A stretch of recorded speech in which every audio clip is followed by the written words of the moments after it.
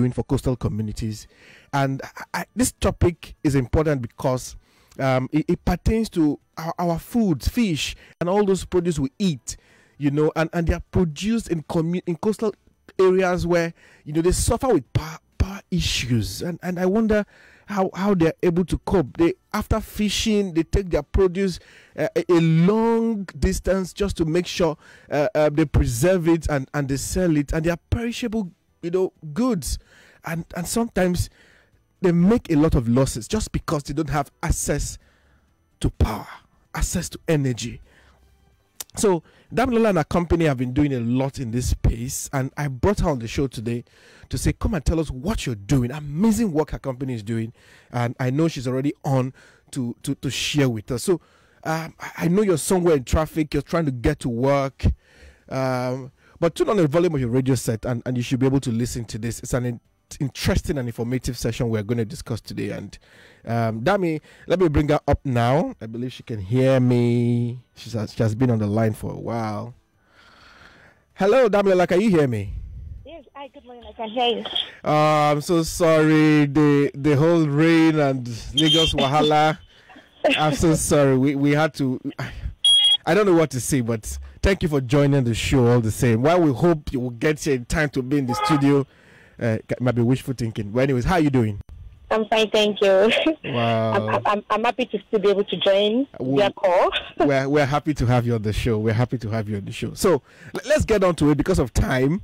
Um, now, we know they fondly call you the solar queen. And when I hear, when I always hear that, I'm like, ah, he, this queen of solar. How did this name come about? And, and, give us a bit, just one minute background of your professional journey and that led to answering the name Solar Queen. Okay, so um, the name Solar Queen, um, it came by, by just me sitting down and thinking, okay, I want a brand for myself. Mm-hmm. I was um, initially being called Solar Mama. And then ah. I was ah! thinking, oh, Mama, well, I'm a mama, but I'm still a queen. Yeah. so I just said, okay, I'll brand myself as Solar Queen. Okay. And um, being a queen that I am, and I'm into the solar energy industry. So, and um, I wanted a brand for myself, and I wanted everybody to know that there's someone there that mm. is into solar energy, and she's coiling all the way. it's becoming a brand, really, and I hear a lot of. I mean, I hear, I see it a lot in the space. Solar Queen, Solar Queen. I said today I'm going to bring the Queen, and, and Lagos did not allow me to to to finish to bring the Queen here. Lagos, I'm just talking Lagos traffic. no, no problems. So tell us about Ashdam. Uh, uh, before I go to Ashdam Solar, or tell us about Ash, Ashdam Solar. So when I look at the name and look at your name I see it's it looks like a combination of your name, Ashaleye yes, and Damilola. And Damilola, yes. Sola. Is that correct? Yes, it actually is. so, okay. so um, Ashdam Solar is owned by myself and my husband. Oh. And um, so before we got married, that was when we actually founded Ashdam. Okay. So then we just said, okay, it's the name and my own first name and then we just combined it together. Oh, beautiful couple things. I love this kind of this kind of energy. Wow, nice. So how's it been going? What do you guys really do? Let, just give us a round of what you do. Okay, so we are a renewable energy company in Nigeria. Okay. And we are focused on solving energy poverty okay. across different areas of the industry, mm-hmm. from mini solutions to solar home systems mm-hmm. to deploying to many to communities. Mm. And then we also have a renewable energy institute mm. where we empower people to to have the required knowledge okay. to be very skilled in the industry. Mm. And um, also part of what we do is we add the gender inclusion also. Okay. Because we we believe in gender equality, gender inclusion, okay. and we want to close the gender gap in the renewable energy industry. Okay. So we also ensure that we have we train women and mm. even young girls, mm. girls as young as ten years old, for them to be able to know that they too can be energy experts if they want to be in the future. So we mm. train them and then we mentor them. So these they, are part of what we do at Ashdam. They too can be solar queens. So you're raising yeah, the solar yeah, princesses. Yeah, so, so I'm actually raising an army of uh, solar queens. Ah, I like, I love that. I love that. I love that. Well done. Well, let me share it for you. well you. done. So now, but uh, now you've been running Ashdam Solar since uh, I, I, found out since 2007. Um, mm-hmm. So it's been a long journey, um, over over a decade. Uh, Yeah, uh, so now, 15 what, is your assessment of the sector? Um, looking at the how you have worked this long period, how have we the growth of the sector? What would be your assessment about it? How would you describe it? Okay, so I would say the sector has been has increased or has grown rapidly in recent years. Mm-hmm. Because when we started in 2007, uh, we, we had to like we, we preached a lot to people, and people didn't really believe in renewable energy, and um, there were so many challenges. Then, though there are still challenges, Yeah. but then the challenges then were so many. But right now, a lot of people are embracing renewable energy. Okay. There's more access to finance, just like All On is on board now. So there's a lot of access to finance. There's a lot of welcoming space. There's a better enabling environment right now, Mhm. and the growth is, is very, very significant in recent years. Oh, beautiful. Beautiful. All right, if you're just joining the conversation, this is Power Solutions. Power Solutions is powered by All On. Olon is an energy impact investment company. Uh, we are doing this in support with your number one talk station, Nigeria Info. And, and I'm talking to Damilola Asaleye. She's co founder and COO of Ashdam Solar. We are discussing access to clean energy for coastal communities. Uh, you know what coastal communities is, and, and you know. Uh, So we are discussing how do we get power to these people? They fish, they produce, they, they make our food.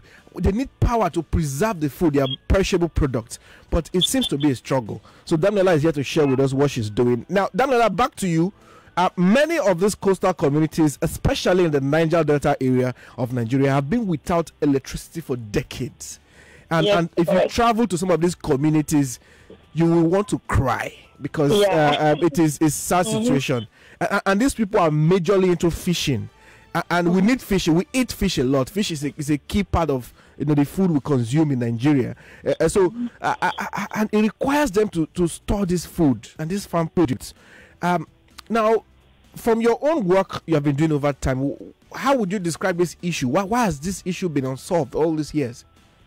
This issue of so- access to these communities, power to these communities. Okay, so the reason why this has not been solved in previous years is because these communities, before you get to them, you have to go via sea, you have to ride on boats for over an hour, sometimes two hours, and the national grid is not yet in their location. The grid line is not even close to them at all. Even the nearest communities to them do not have um, the nearest land to them Mm. do not even have access for over 20 years. So these communities have been there since their inception, over 100 of years, Hmm. without access to clean energy. I can They imagine. don't, have, they, are, they don't have access to energy at all. Even the alternatives that they use, which is uh, for diesel or generator, um, diesel generators or petrol or even kerosene lanterns, even those ones are very expensive for them because transporting it to them, especially the fact that they're in the Niger Delta area, transporting it to them costs a lot of money. So they, they spend a lot for Hmm. energy assets. And then these energy assets that they have is also very, very unclean, unhealthy to them. They, Yeah. fall sick. They, they don't even have, they have it for a few hours in the day, most of them, when Mm. we did our um, visibility study, they have it first just for a few hours, and then they spend so much. And then the cost of maintaining just for those few hours, maybe two, three hours in the evening, that's when they used to use electricity for from generators. Hmm. The cost of it is way, way expensive for them. So they've been living in deep energy poverty. Hmm. Students, their children can't study at night Yeah. don't have access to um, electricity to power their productive use of energy to power their freezers. Mm. They, they have a lot of losses in their products. Wow. Even their health centers, they don't have access to electricity to. So the problem I see here now is um, even the access to get them the power is a problem. exactly. Access to get the power to them is also the problem because of their topography, Oh. because of that, because of where they are. So Hmm. access to get to them is is very is, is a problem, and then this leads to a lot of extra problems, Hmm. problems upon problems. All right. So uh, now in 2020, uh, you applied, or the company Ashdam Solar applied for the um, um, off-grid energy challenge, and, and you picked one of these coastal communities. It's called Odunla uh, uh, Abi, Yeah, Odunla. Odunla eh, at uh, Ilajel Ajemitale, yeah. Ajemitale in the Yeah. Local government area of Ondo State. You Yeah. pick you pick this community, it's a coastal community, and uh, um, uh, you you Ashdam was was announced as one of the winners of this challenge, and you got a hundred k funding. Uh, with support Yes, from yes, US indeed. ADF and all on. Congratulations on that again. I can't stop saying you. that. So now, but now tell us about this project because you went all the way to uh, uh, uh, Ajemitale Udunla community in Ondo State uh, uh, to sort of implement this project at, at a mini grid, uh, uh, a mini grid solution you did there for them, and this will help the women and the people uh, uh, to be able to manage their farm produce, store it, and all of that. So tell us about the project and why you chose this community. Okay, so we chose this community because we wanted to go to the last mile communities, like communities that are not on the grid, they don't have the hope of getting close to the grid in the near future, and they need this solution because they need electricity. Electricity is the bloodline of economic development. So we wanted to have this kind of impact on such communities. So the race to look for such communities started, and then we found one that we fell in love with. And um, we went to this community and we had several community engagements with them. Though the first time I was going to this community, I was thinking, Gabriela, what are you doing on the sea? How did you get there? Did you get there by boat? Uh, how did you guys Yeah, get to the I- I- community I, itself? I, I got there by I got there by boat. So we got to the community through a referral. So we and we got that community via boat. So we had to go, and I will tell you that was the first time on a boat on the sea. Hmm. Hmm. yeah. So we, we got there via boat, one and a half hours journey on the sea just to get to this community. And when we got there, we saw that these people are living here, and these people they are human. They need these assets, they don't have a lot of, they, they have the potential, but because of lack of electricity, they are lacking behind. Hmm, hmm. So, and we could see the activities in these communities. We could see a lot of pharmacy. We could see different kind of shops, different kind of economic activities going on, and they were struggling to to make ends meet because of the cost of energy. But then they were still very, very well into the use of or into the their growth. So we see that this kind of community, if they have access to energy, Yeah. then they have better chance of having a lot of increase in different aspects of their areas, personal lives and community life. So, so So- tell us about the mini grid. Now, um, um, what kind of mini grid was was was installed there, and and how does it work?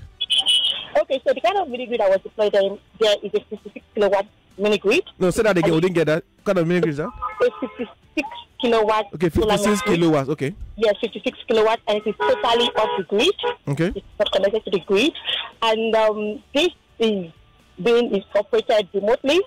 So we, though we have vendors, local vendors in the community, which we also train some people as operators in the community. But we Oh. also do remote monitoring in the community. So as I am right here in Lagos, I could if there's somebody that is performing electricity test, we could disconnect the person remotely Okay. if we don't if, if, if we see that there's electricity theft, we could monitor what the usage of each household is. Hmm. We could also vend electricity remotely or by our local vendors. Okay. So we have a lot of online monitoring going on right there, and then we also have some physical presence through local operators in the community. Beautiful, beautiful. Wow, amazing. Well done, Ashdam Solar. Uh, and we understand that this this mini grid serves uh, uh, over 1,500 people in Odonla coastal communities, Yeah. providing access uh, to electricity for them for the very first time. This is Yeah, amazing. very first time. And this this um, mini grid is connected to seven cluster communities. So it wasn't only at Jemitale that we powered. We powered some other communities that are close to Jemitale. So we have Midroye, we have Ibomoga, we have Salem City. So we have uh, we have Ogodio, Akenloye. So we have seven cluster communities connected to this 56 kilowatts. Wow, wow. So th- these communities now have access to solar power lights uh, Yes, 24 yes, 7. so 24 7 electricity, like they are really enjoying electricity now, even more than those of us in urban areas like Lagos and Ibadan. Hmm, hmm. Yeah, they have 24 7 electricity right now. Impressive. If you're just joining the conversation, I've been talking to Damilola Ashale, who is co founder and CEO of Ashdam Solar. And if you want to have a feel of what she's explaining to us um, about the mini grid solar power they deployed in o- Odola community, go to YouTube right now and type Ashdam Solar. Uh, and they have a beautiful documentary uh, of how this was deployed and how the community is feeling about this solution in that i- i- in their areas. I mean, go and watch this clip. Just go to YouTube right now, Ashdam Solar, uh, uh, and watch that clip. That video is about uh, some 10 minutes uh, documentary of how they deployed this solution, and you have a feel of what we are saying and, and, and what we're explaining right now uh, to see how solar is bringing life uh, uh, to these communities. Now, but Damilola, let me come back to you. Uh, can you tell us how much support did you receive from members of the community, their leaders, the youths? Uh, how did you manage community relations and engagement to make sure this this happens? How was that like? Was it uh, difficult? Was there a challenge you want to share?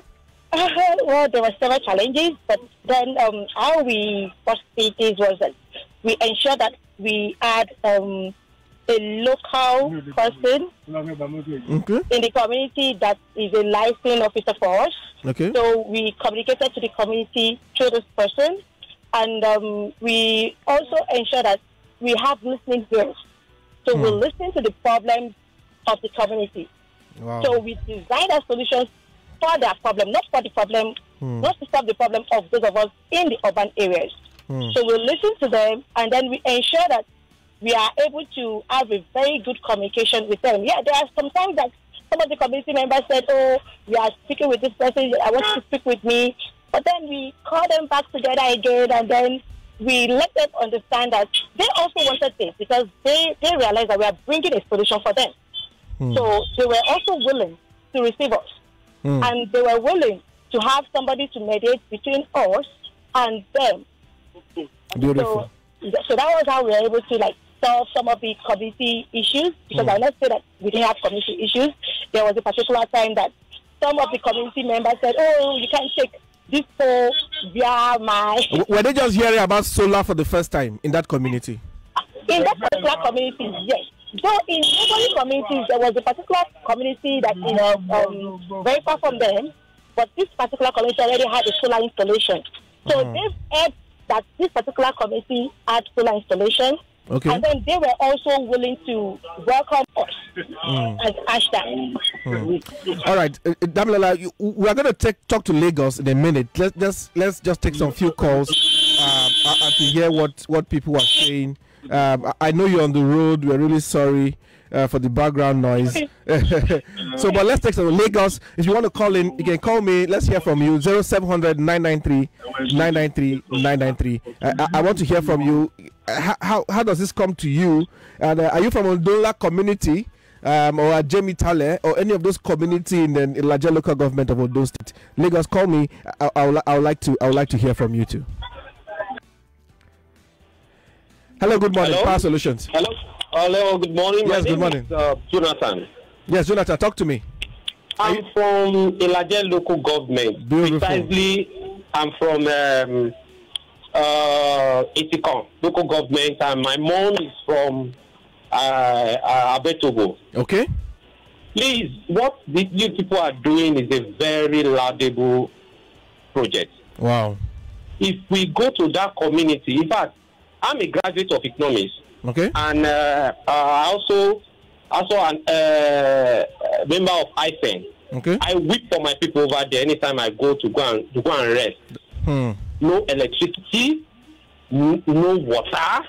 In fact, the life they are living there, I wonder whether we are Nigerians. Thank I you so much. you. Thank you so much, Jonathan. We can't we can't speak for long. All right, Lagos, call me. I want to hear from you. Are you from Odola community? Uh, um, how do- how do you see this project there? Have you have you been there? Have you have you have you heard about it? Zero seven hundred nine nine three nine nine three nine nine three. Call me, and, and, and I would like to hear from you. Okay, Damola. Yes, I'm right there. Yes, ah, someone just jo- someone Jonathan just called from from that community and amazing work. Amazing. I don't know if you are listening. listening. okay, okay. We, we are getting too much feedback from your background. But before I let you go, um, can you tell us about the, the, the Ashdam Solar Academy? Uh, I mean, a lot of solar queens who want to learn from you how they can also uh, uh, uh, uh, uh build a career in solar quickly in just one minute before we let you go. Okay, so Ashdam Solar Academy is. Um, building an army of skilled expertise in the renewable energy sector. Okay. And though we are for men and for women, but then we also have special programs for women. Hmm. So um, right now we have a program that we are doing in collaboration with ICA, okay. where we are going to bring in some ladies um, from the age of 18 to 29. And so if anyone wants to be part of it, how can they reach you? Yeah, so they can reach us. The number? Our phone number, yes. Okay. Um, our office number is 090 okay. 65 seven two okay four two six five. Yes, can you call that again, please? Zero nine zero okay six five okay seven two okay four two six five. All right, thank you a lot, Damilola. So sorry you couldn't make it to the studio. We hope no another problem. time we can do this again and make sure we have you in the yes, studio. But at this time, I have to let you go. Um, thank you so please much. Please stay safe. Please stay safe and, and be careful. Yeah. Thank you. Yeah, right. bye. Hello, good morning. This is Power Solutions. Talk to me. Hello, good morning. Yes, good morning. One minute. Yeah, uh, okay, okay, bro. I beg. Eh, if people they talk, maybe let them. They, like, that guy will up from Ilaje where they follow the speech. Uh, you know, let's just call the guy off. If you hear, we want to hear what they talk now. Let the let person the laugh first. Now, not be the one where they favor people before you can. This thing, I beg. Thank you so much. Thank you for that. Okay, we were working with time, um, and we're always up against time. So uh, we're sorry. Every caller has one minute to make their point. Sometimes thirty seconds because of time. So we're sorry about that. But anyways, we've been talking to Damilola Shale, a co-founder or, and CEO of Ashdam Solar, and she was sharing with us what her company was doing, uh, bringing access to clean energy and, and solar power to, to coastal communities, especially with the recent one they just installed in Ilaje uh, at Jemi Tale in Ondo State uh, that is serving over 1,500 uh uh, uh, uh, uh, people in that community. Amazing work, and also uh, providing access to electricity for the first time for that community. Over 300 households and 52 businesses are benefiting from this. And we want to say kudos to Ashdam Solar. In case you want to learn more about Ashdam Solar, you can just type on Google Ashdam Solar to find them, or Instagram. You can just go Ashdam Solar on Instagram or any other social media platform. Uh, you can learn more about what they are doing. And we want to thank Ashdam Solar for coming on the show today. But well done, well done. We want to see more communities being powered. Uh, and, and, and, as we do the show every week, I will try to bring a lot of these companies uh, on the show to come and share with us what they are doing coastal communities also need access to power. Uh, it's important we also uh, uh, give that access to them. So one more call before we go off. Um, one minute. Hello, good morning. This is Power Solutions. Hello, good morning, sir. Please, yes. I would like for uh, her to give us repeat the number. We we wanted to get it. Okay. Secondly, I would like to find out can would, uh, do they also provide solar energy to individuals, okay. individual homes, as in Lagos, for instance. Okay. I'm staying in Ibeju-Lekki, so I would like to get to know, sir. All right. Yes, Thank sir. you so much. Yeah. All right. If you want to find Ashdam Solar, we may have missed the number. If you want to find them on, on Instagram, just type Ashdam Solar you know you're going to get them. Send them a dm on instagram uh, and i'm sure that will suffice. Unfortunately we can we don't have the number to call again and, and she's dropped off already from the show. But no worries. Uh, maybe next week when i'm back on the show. But if you want to get it more you can find us on instagram all on energy. All on energy on instagram. Send us a message and i'll get that number across to you and myself. Find all on across all social media platforms and so you can connect. All on energy at all on energy on instagram. And you can send me a dm and we can respond to that so as we drop off, this is Power Solutions. Uh, Power Solutions is powered by All On Energy Impact Investment Company uh, with support and in partnership from your number one talk station, Nigeria Info. Until next week, when we bring another exciting topic uh, on the show, uh, I want you to have a very good Monday and a very good week. I know it's a wet Monday everywhere across Lagos, and I hope you're staying safe, driving safe. Uh, uh, it's going to get better. Until next week, I come. My name is Wisdom, Wisdom Chap Jumbo, and um, have a very lovely week.